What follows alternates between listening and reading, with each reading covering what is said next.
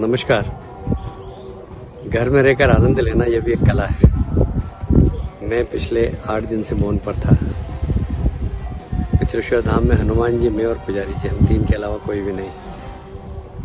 वहीं बैठे बैठे ध्यान आया कि क्यों ना राम नवमी को लोगों के साथ मनाई जाए और सोशल डिस्टेंसिंग का भी ध्यान रखना।